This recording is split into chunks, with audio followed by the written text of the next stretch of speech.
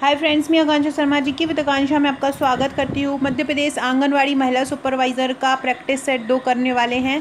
इसका एक सेट करवा चुकी हूँ। बहुत सारी सीरीज़ सुपरवाइज़र के लिए मेरे चैनल पर चल रही है। एम सी क्यू तीन हज़ार प्लस प्रश्नों का है। वन लाइनर है। थ्योरी के लिए एम क्लासेस है। एम सीरीज़ जो नाम से चल रही है। और ये एक प्रैक्टिस सेट निकाली हूँ। प्रैक्टिस करने के लिए इसमें हम जो अलग अलग स्टेट में एग्ज़ाम आए हुए हैं अलग अलग स्टेट में क्वेश्चन पूछे गए हैं, वो हम इसमें करने वाले हैं। एक सेट इसका करवा चुकी हूँ। आपको प्लेलिस्ट में आपको डिस्क्रिप्शन बॉक्स और कमेंट बॉक्स में डाल दूँगी। तो आप वहाँ से इसकी पूरी जो है प्लेलिस्ट देख सकते हैं। न्यू है चैनल पर तो चैनल को सब्सक्राइब ज़रूर कर लीजिएगा। नोटिफिकेशन जल्दी आपको देखने को मिलेगा। देखिए ऑर्डर पास हो गया है। ये बिल्कुल बात नहीं है कि नोटिफिकेशन नहीं आएगा। आपका एग्ज़ाम होना ही है आंगनबाड़ी के लिए। रिक्त पदों की जानकारी व्यापम तक पहुँच गई। आप देख रहे होंगे, अभी व्यापम का कोई भी एग्ज़ाम नहीं आया है। कल व्यापम की न्यू साइट जो है वो अपडेट हुई है, जो साइट को उसने अपडेट किया है तो हो सकता है कल में, परसों में आपको इसका नोटिफिकेशन वर्ग दो का नोटिफिकेशन देखने को मिल जाए। दो चार दिन में आ जाता है अगर नोटिफिकेशन आपका। तो आपका जो एग्ज़ाम है वो अक्टूबर नवंबर तक कंडक्ट हो जाएगा। आचार संहिता में एग्ज़ाम आने की पॉसिबिलिटी नहीं होती है लेकिन एग्ज़ाम हो जाता है एग्ज़ाम तो ये ये नहीं बोल सकते कि आचार संहिता में एग्ज़ाम नहीं होता है। आ, लेकिन अगर अगर ये थोड़ा सा डिले होता है नोटिफिकेशन तो आएगा ही आएगा। अगर डिले होता है तो आपका आप दिसंबर जनवरी इनमें एग्ज़ाम हो सकता है। तो चलिए स्टार्ट करते हैं। पहला क्वेश्चन है शिशुवती माता के स्तन में गांठ का क्या कारण होता है?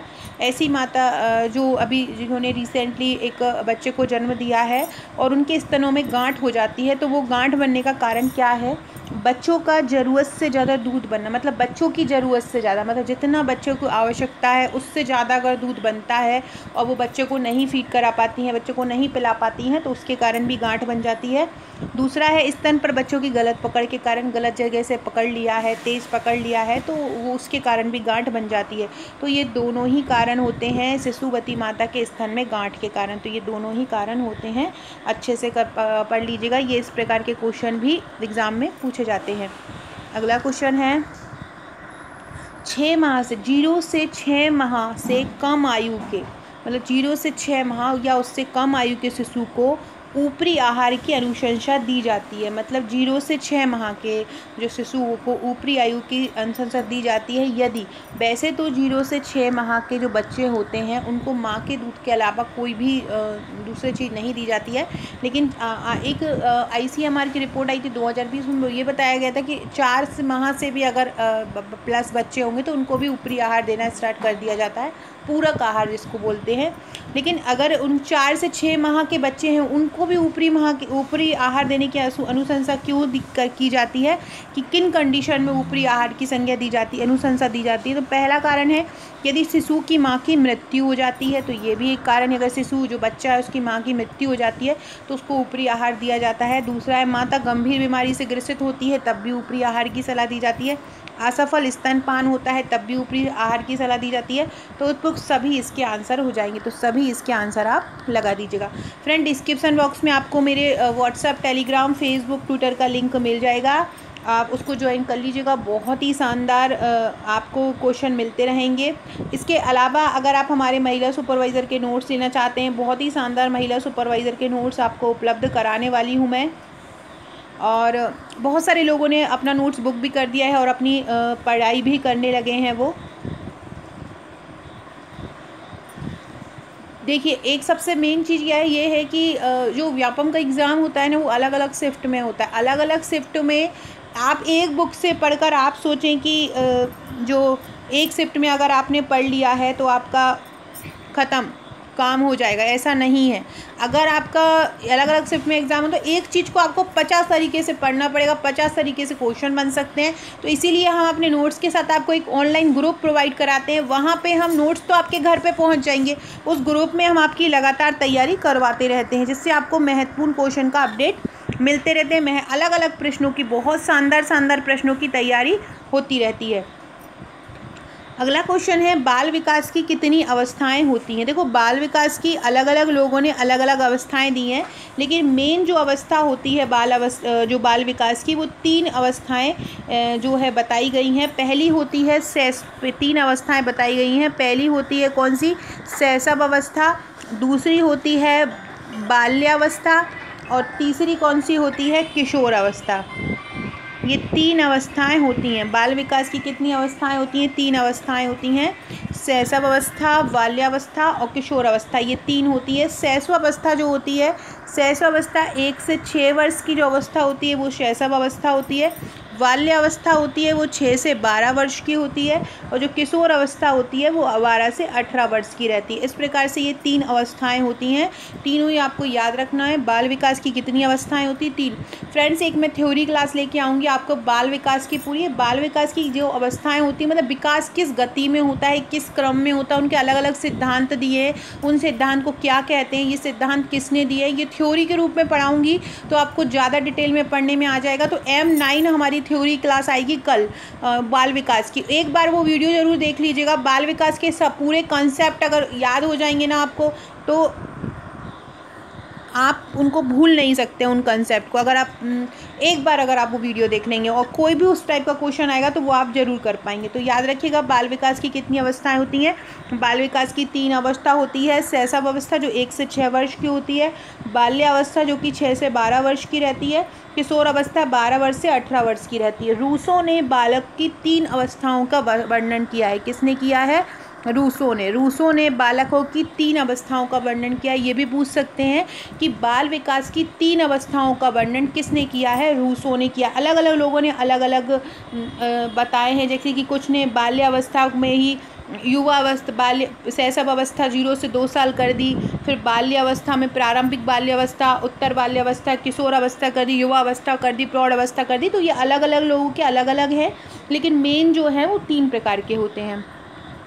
सहसावस्था बाल्यावस्था और किशोरावस्था। अगला क्वेश्चन है, वृद्धि निगरानी रखने के कितने चरण होते हैं? बहुत ही महत्वपूर्ण क्वेश्चन वृद्धि निगरानी रखने के कितने चरण होते हैं? वृद्धि निगरानी रखने के। चार, पाँच, तीन, छ। वृद्धि निगरानी रखने के कितने? तो मेन जो वृद्धि निगरानी रखने के चार्ट होते हैं, वो चार हो सॉरी पाँच होते हैं। वृद्धि निगरानी रखने के कितने चरण होते हैं? वृद्धि निगरानी रखने के पाँच चरण होते हैं और इसमें जो रेखाएँ होती हैं, वो चार होती हैं।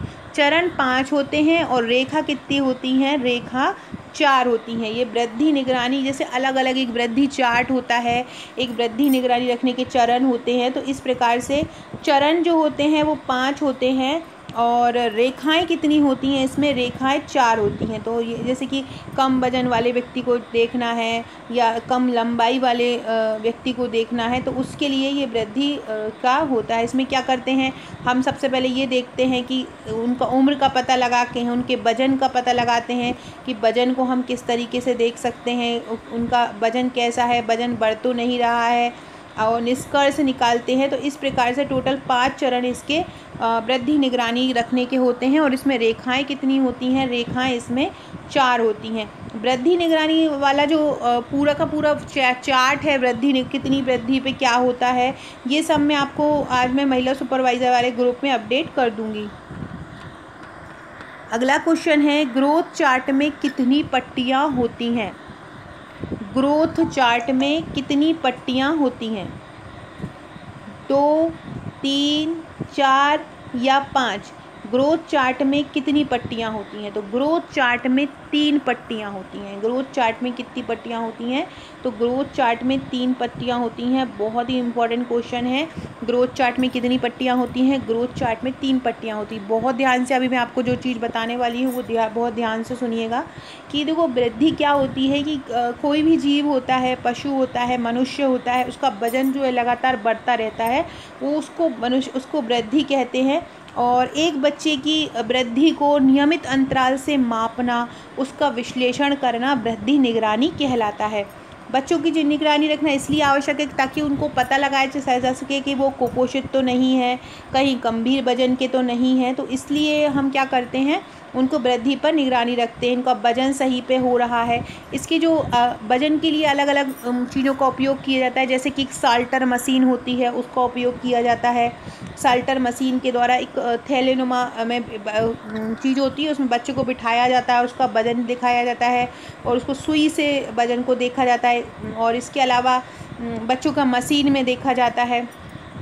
वृद्धि चार्ट में जो होता है, मैंने बताया तीन पट्टियाँ होती हैं वृद्धि चार्ट में और कुछ आड़ी और खड़ी लाइनें भी होती हैं जिसके आधार पर हम पता लगाते हैं। देखो जो जो पट्टियाँ होती हैं, एक पीले रंग की पट्टी होती है, एक हरे रंग की पट्टी होती है और एक नारंगी रंग की पट्टी होती है। यदि पट्टी, ये मेन लिखते जाना, यदि पट्टी पीले रंग की होती है, यदि पट्टी पीले रंग के भीतर होती है तो इसका क्या मतलब होता है कि बच्चा कम वज़न का है मतलब बच्चा कुपोषित है। यदि पीले वज़न की होती है तो क्या होता है कि बच्चा कुपोषित है, उसका कम वज़न है।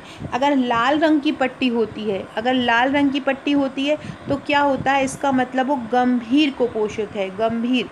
लाल रंग की पट्टी है तो क्या हो जाएगा? लाल रंग की पट्टी है तो बच्चा जो है वो गंभीर कुपोषित है। इसके अलावा एक होती है हरे रंग की पट्टी। हरे रंग की पट्टी होती है तो इसका मतलब है कि बच्चा की स्थिति जो है वो सामान्य है, वो ना उसका वज़न जो है खतरे की रेखा से बाहर है।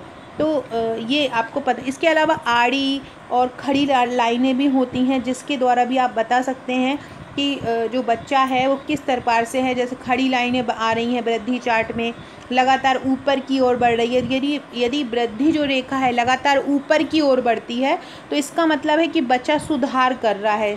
यदि बच्चा, वृद्धि रेखा बिल्कुल सीधी है, ना बढ़ रही है, ना घट रही है तो इसका मतलब है कि वो स्टेबल है। बच्चे का वज़न ना बढ़ रहा है, ना खड़ा, घट रहा है। और आड़ी रेखा जो है, वो आड़ी रेखा वज़न को बताती है। वज़न को बताती है कि किस प्रकार से उसका वज़न बढ़ रहा है। तो आपको याद रखना है, वृद्धि चार्ट में जो खड़ी रेखा में वज़न को और आड़ी रेखा में उम्र को प्रदर्शित किया जाता है। याद रखिएगा, वज़न को किसमें प्रदर्शित किया जाता है? खड़ी रेखा में। और आड़ी रेखा में किसको प्रदर्शित किया जाता है? उम्र को। आड़ी रेखा में उम्र को प्रदर्शित किया जाता है और खड़ी रेखा में वज़न को प्रदर्शित किया जाता है। इसमें अलग अलग रंगों की तीन पट्टियाँ होती हैं। सबसे ऊपर की जो पट्टी होती है, वो हरे रंग की होती है। बीच की पीले रंग की होती है और नीचे की लाल रंग की होती है। हरे रंग की पट्टी मतलब सामान्य वज़न, है ना? और उसके बाद पीले रंग की पट्टी मतलब कम वज़न और लाल रंग की पट्टी मतलब बहुत ज़्यादा कम वज़न है। हरे रंग मतलब अच्छा खासा पोषित है। तो और अगर वृद्धि जो रेखा है वो नीचे की तरफ़ झुक रही है तो इसका मतलब है कि स्थिति खराब है, सोचनीय स्थिति है। फ्रेंड्स, ये मेरे महिला सुपरवाइज़र के नोट्स हैं, आप देख सकते हैं, बहुत ही शानदार, सुपर डुपर, इतनी सरल भाषा में तैयार किए गए नोट्स हैं। ये टोटल आपको ये सेवन बुकलेट मिलेंगी, आप ये देख सकते हैं, ये दो, ये हैं। पोषण एवं स्वास्थ्य योजना एवं संस्थाएँ, फिर सामान्य गणित, कंप्यूटर शक्ति, शिशु की प्रारंभिक देखभाल, इसमें 500 सौ वन लाइन बहुत सारे फैक्ट अलग अलग से कवर किए गए एक प्रैक्टिस सेट मिलेगा आपको तीन हज़ार एमसीक्यू का, इसमें नियम, अधिनियम, अधिकार प्रबंधकीय गुण है, और ये एक हज़ार वन लाइनर का वन लाइनर की बुकलेट है।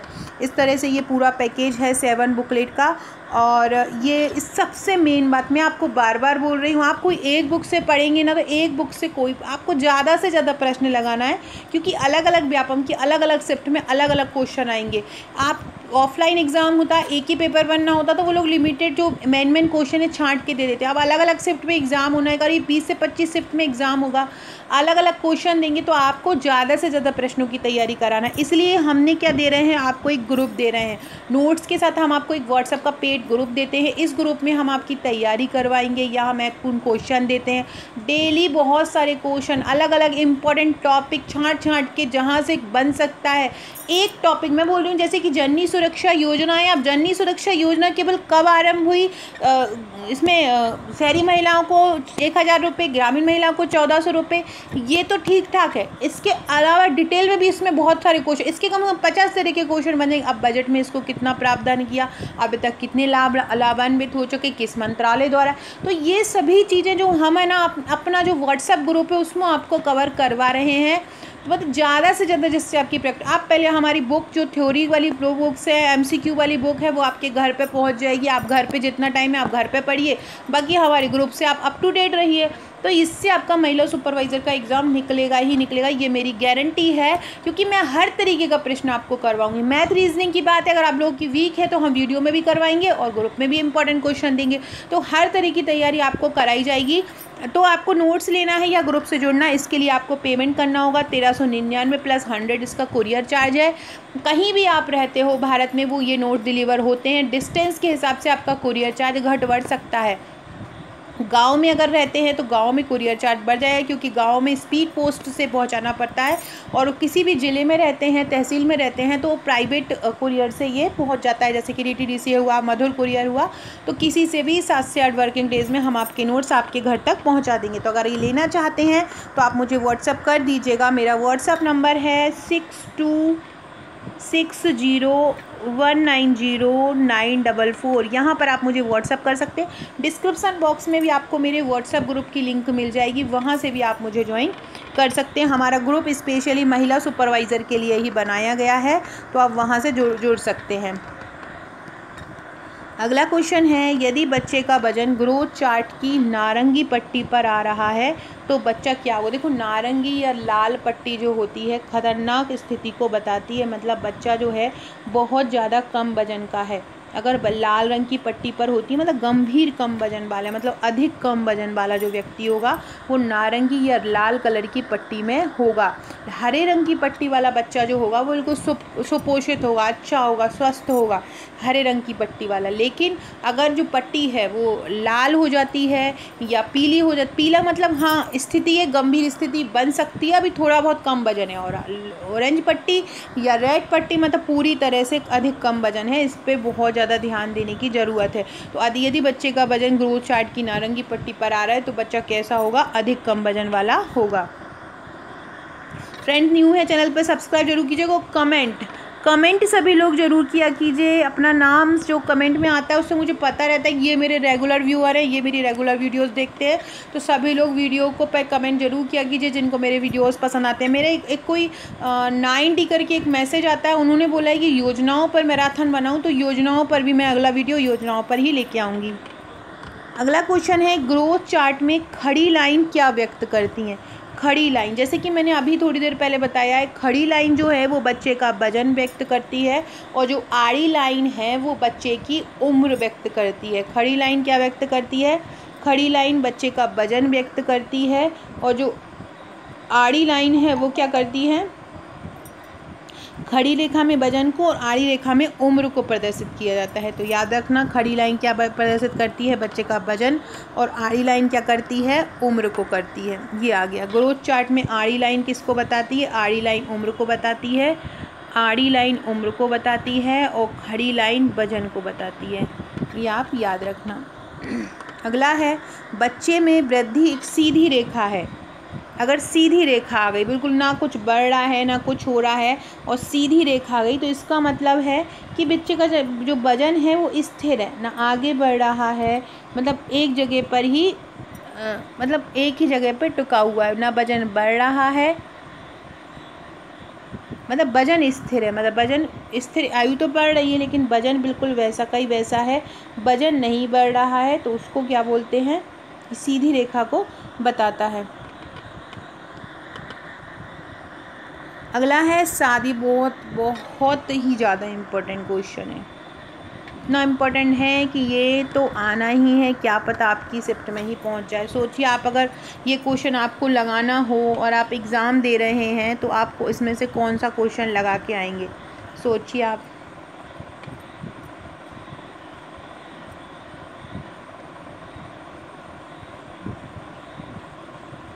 साधारण जन्म के समय बच्चे का वज़न एवं लंबाई कितनी होनी चाहिए? तीन किलोग्राम व पचास सेंटीमीटर से अधिक। दो किलोग्राम व चालीस सेंटीमीटर से अधिक। चार किलोग्राम व साठ सेंटीमीटर से अधिक या उपरोक्त सभी। ये आपको बताना है कि कितना वज़न जो है होना चाहिए। एक बच्चे का जो औसत लंबाई कितनी हो ये इंच में भी पूछा जा सकता है। पहले मैं आपको इंच में बता देती हूँ। जन्म के समय जो बच्चे की औसत लंबाई है, वो चौदह से बीस इंच होना चाहिए। चौदह से बीस इंच होना चाहिए और जो जो क्या बोलते हैं, लंबाई है, वो छत्तीस सेंटीमीटर से पचास सेंटीमीटर के समथिंग होना चाहिए। ये इतनी ऊंचाई होनी चाहिए मतलब लंबाई होना चाहिए और जो वज़न है, वज़न कितना होना चाहिए? ढाई से साढ़े तीन किलो के बीच अगर किलो की बात करें तो ढाई से साढ़े तीन किलो का वज़न जो होता है, बच्चे का ठीक होता है और जो लंबाई होती है, वो पचास सेंटीमीटर से अधिक या छत्तीस से पचास सेंटीमीटर के बीच होना चाहिए। इसके अलावा मैंने आपको बताया है इंच में इंच में भी क्योंकि पूछ सकते हैं तो इंच में चौदह से बीस जो इंच है, वो होना चाहिए। अब अब आपको ये बताना है कि अब यहाँ पे अगर आप बात करें तो यहाँ पे आपको कौन सा ऑप्शन बेस्ट लग रहा है, इतना मैं बता चुकी हूँ। तीन किलोग्राम तीन किलोग्राम व पचास सेंटीमीटर से अधिक वज़न, बच्चे का वज़न होना चाहिए, ये आप लिख लो। एक और, एक बार इंच में भी लिख लो कि अगर वज़न आपसे पौंड में पूछें तो कितना होगा। ये तीन किलोग्राम है और पौंड में पूछें तो साढ़े पाँच से नौ दशमलव पाँच।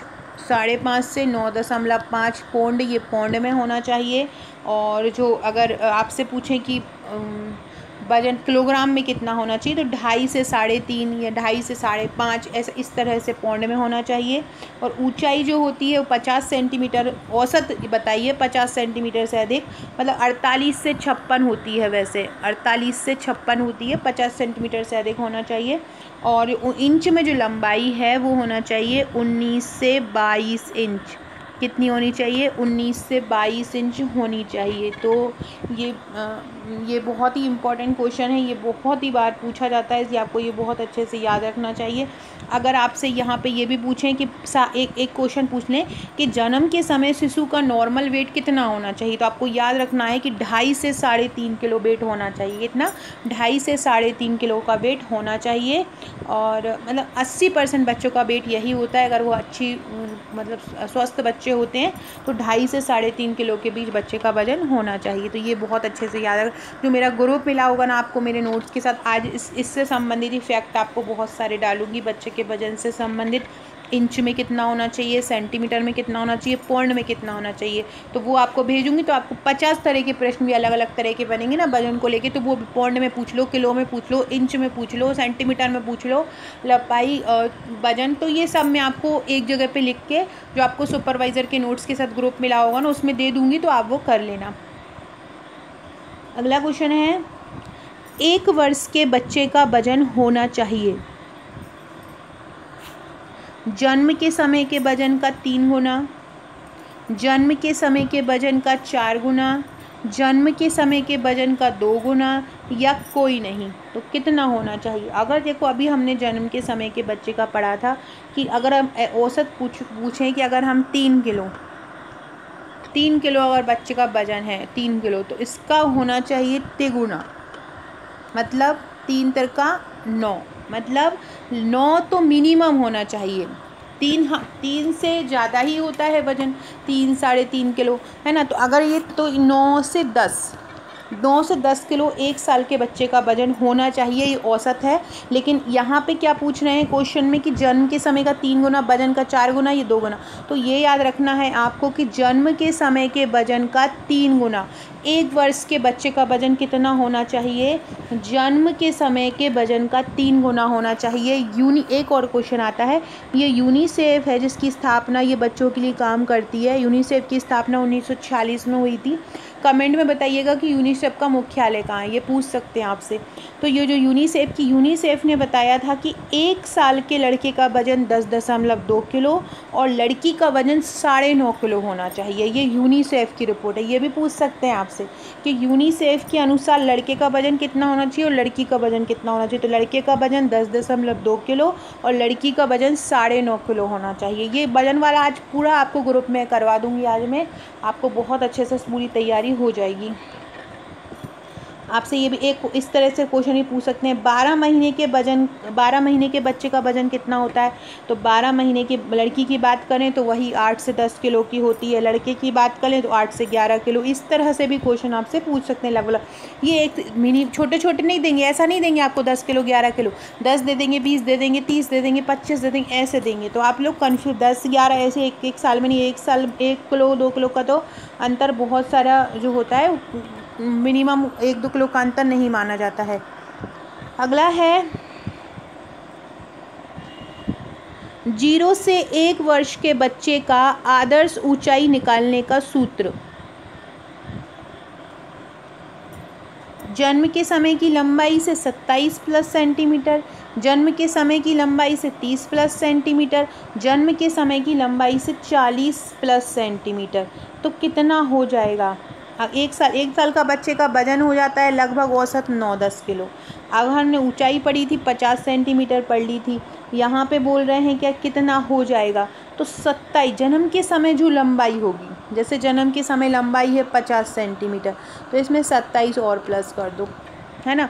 तो जन्म, जो बच्चे की जो लंबाई उसके जन्म में होती है, जन्म के समय होती है, उससे सत्ताईस प्लस सेंटीमीटर बच्चे की आदर्श ऊंचाई मानी जाती है। ज़ीरो से एक वर्ष के बच्चे की आदर्श ऊंचाई कितनी मानी जाती है? तो जन्म के समय की लंबाई की सत्ताईस प्लस सेंटीमीटर जो है, वो लंबाई मानी जाती है। फ्रेंड्स किस किस टॉपिक में आप लोगों को दिक्कत आ रही है, ये भी आप मुझे व्हाट्सएप पर ज़रूर बताइएगा कि जिसमें आपको ज़्यादा दिक्कत आ रही हो टॉपिक पे। तो वो अपन और प्रबंधन का भी मेरे पास एक मैसेज आया था कि मैनेजमेंट करवा दीजिए। देखिए मैथ के क्वेश्चन आपके पास आठ ही आएँगे। है ना? तो उसमें दो तीन क्वेश्चन ऐसे रहेंगे जो नॉन वाले रहेंगे, जो हाथों में ही हो जाते हैं। वो जो मेन जो टॉपिक हैं, उससे प्रश्न इंपॉर्टेंट मैं आपको करवा दूँगी। बाकी कंप्यूटर और मैनेजमेंट के भी क्वेश्चन कम ही आते हैं। तो वो जो मेन मेन क्वेश्चन है, वो भी मैं आपको वीडियो के माध्यम से कवर करवा दूँगी। तो ज़ीरो से एक वर्ष के बच्चे की आदर्श ऊँचाई निकालने आदर्श ऊँचाई कितनी जितनी भी जन्म के समय होगी, उसका सत्ताईस प्लस सत्ताईस प्लस कर दो उसमें। तो मतलब वो आपकी जन्म की मतलब सत्ताईस प्लस ही होती है है ना? तो जन्म के समय की लंबाई में सत्ताईस प्लस कर दो। जो भी जन्म के समय लंबाई, जन्म के समय जैसे लंबाई पचास हो तो उसमें सत्ताईस प्लस कर दो। तो ये इसका सूत्र होता है। तो आपको ये सूत्र याद रखना है। एक और आता है कि एक वर्ष का जो शिशु है, उसकी इंच में लंबाई कितनी होती है? तो चौबीस से सत्ताईस इंच। कितनी होती है? चौबीस से सत्ताईस इंच। जन्म के समय की लंबाई चौबीस से सत्ताईस इंच होती है। ये इंच में है। ये हमने काय में की थी? सेंटीमीटर में की। जितनी भी जन्म के समय लंबाई होगी उसमें अगर हम सत्ताईस प्लस कर देंगे तो हमारी सेंटीमीटर में लंबाई निक, ऊंचाई निकल आएगी। और अगर इंच में करेंगे तो चौबीस से सत्ताईस इंच जो होती है वो आदर्श ऊंचाई होती है।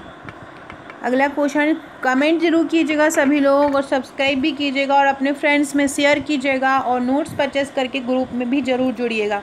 यदि किशोर बालिका का बीएमआई अठारह दशमलव पाँच से कम है तो किशोर बालिका की ऊंचाई के अनुपात में वज़न कितना होगा? क्या बोल रहे हैं? यदि किशोरी बालिका का बीएमआई साढ़े अठारह से कम है तो किशोरी वालिका का ऊंचाई के अनुपात में वज़न क्या होगा? कुपोषित, सामान्य से अधिक वज़न, अत्यधिक वज़न या सामान्य वज़न? बीएमआई साढ़े अठारह से कम है तो क्या होगा?